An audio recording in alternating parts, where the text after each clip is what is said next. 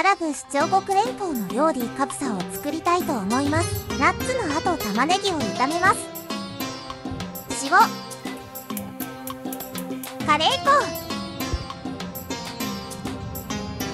鶏肉。トマト。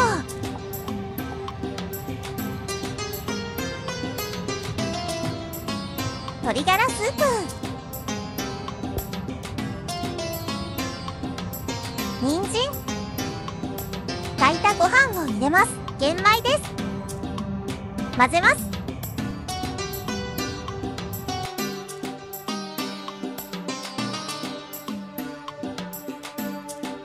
レモンを盛り付けます。ハーブのディルを入れます。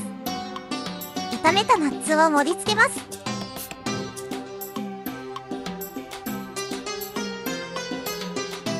美味しい。アラブの曲ってかっこいい。